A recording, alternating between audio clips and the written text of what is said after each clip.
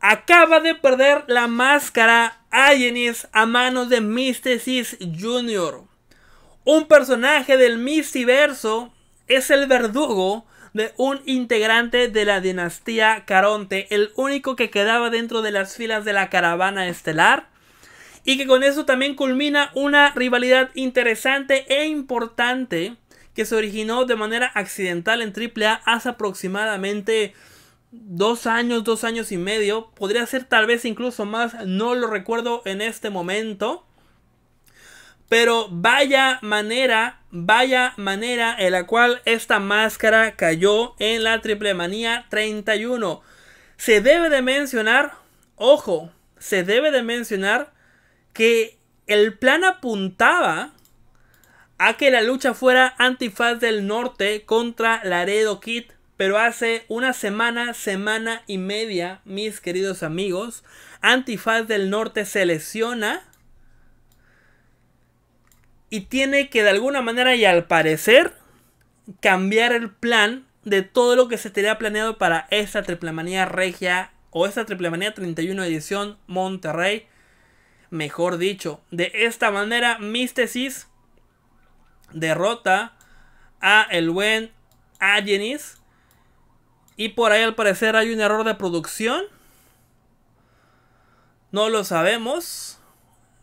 En un momento, en un momento vamos a escuchar las palabras de Argenis.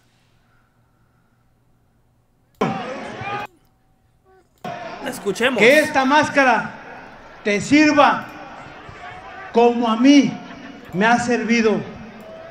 Porque ganaste bien. Pero aún así. ¿Pero qué es? Los rudos, los rudos, los rudos, dicen por ahí. Ya se quita la máscara. Soy de Tepito y me llamo Mirza Adán Uribe. 21 años de carrera. Y ustedes chinguen. Como todo un rudo. Como todo un rudo. Un rudo clásico. Ayenis pierde la incógnita.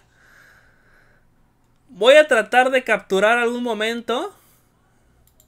Ahí, ahí creo que ya lo tengo capturado.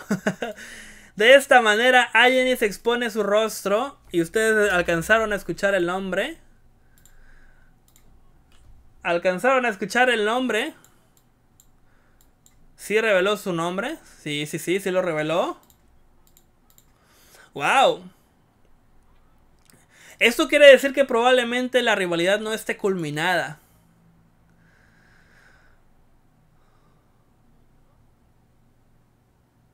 Un minuto, dice. Vamos a escuchar qué dice. Porque sí, soy un profesional. Soy tercera generación de luchadores. Yo me refería a lo que usted hizo en el ring ahora. Se supone que usted permita que su rival le quite. A mí no me interesa si esta gente no entiende cómo me llamo. En todo, todo un rudo en la extensión de la palabra. Todo un rudo en la extensión de la palabra. En este momento muestro cómo perdía o cómo mostraba su rostro. Arienis ha respaldado totalmente por las tóxicas. Y definitivamente esto se, ve interesante. Se ve interesante. Este es el rostro de Arienis. Que encae ante Mysticis Jr. Un personaje del Mistiverso. Y ustedes díganme. Ustedes díganme qué les pareció este resultado. ¿Les pareció poético? ¿Les pareció épico? ¿Les pareció improvisado? Mysticis Jr. contra Arienis así culminó. Un personaje del Mistiverso es el verdugo de un integrante de la dinastía Caronte. Si no estoy mal y me puedo equivocar, el primero que ve caer su máscara, Alien Sky en la Triple Manía 31 edición Monterrey. Déjame tus comentarios aquí en la parte de abajo.